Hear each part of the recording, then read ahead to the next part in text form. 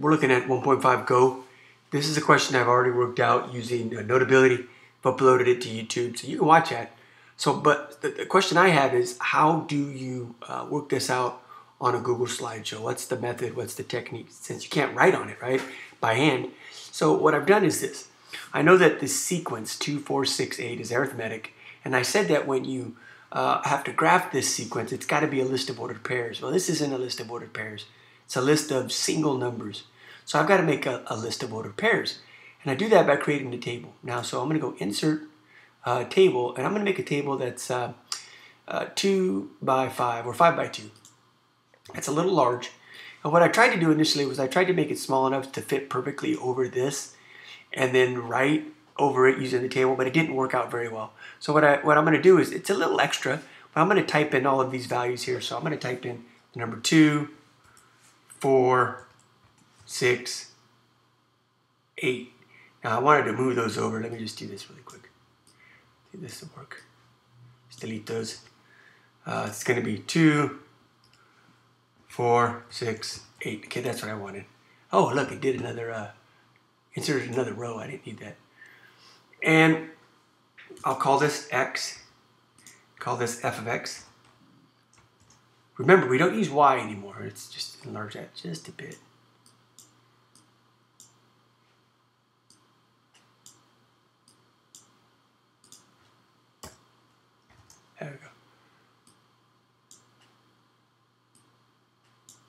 Okay, good. Now, the trick was, and I said this before, that we call our first term, not first term, but we call it the zero term. call this the first, second, and third. And we did that because we know that the y-intercept is what? Is found when you let x be zero. So there's my table of values. Now I want to plot those table of values. And the way I do that is I have to set up an, uh, uh, some intervals here that are equally spaced on the x-axis and on the f of x axis.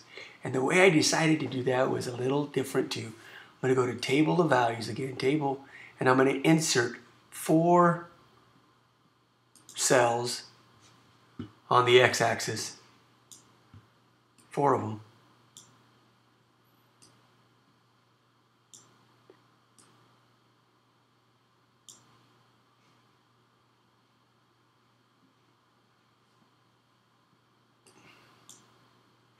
And then I'm going to insert the same four on the y-axis, but I'm going to insert those vertically.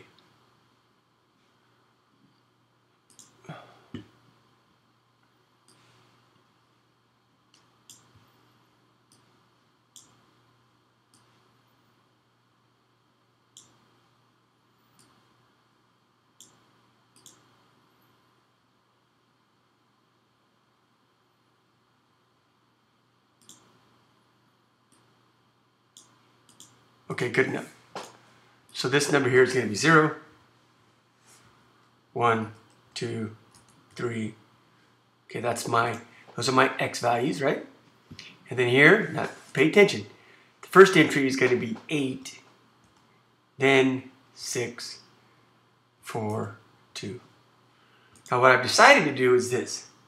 You see on the boxes that create the table, I'm going to let the box itself be the tick mark. So I'm using the gray line there, here to be 2, see that? This gray mark to be 4, 6, and 8. And if you want, you can go in and add a line there and add your own tick mark, you can. But I'm not. I'm going to use the tick markers. That would be 0, this would be 1, 2, 3. So it might be a little confusing.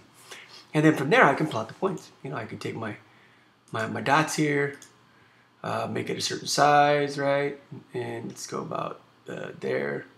We've done this before. I, lo I love changing the color right. I, li I like making it my own. Uh, let's go with purple. A little bit of gold. Uh, let's see. Uh, yeah, let's make that a little larger, I guess. About three. Yeah, that's going to work. And so I'm going to copy four of those. Uh, I think it was Command C, Command V, one. Need four of them. There we go. So let's start moving these guys. So 0, 2 is right uh, there, that's going to work for me. And then we have uh, 1, 4.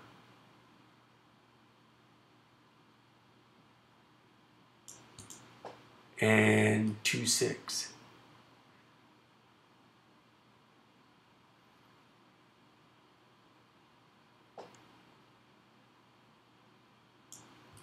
And finally, 3, uh, 3, 8. And there you have it. What a beautiful thing. Uh, watch the previous video on uh, this exact question to see how I worked out recursive and explicit functions. So, we did it. Kind of cool. Like I always say, study hard, learn a lot, and we will see you soon. Bye bye.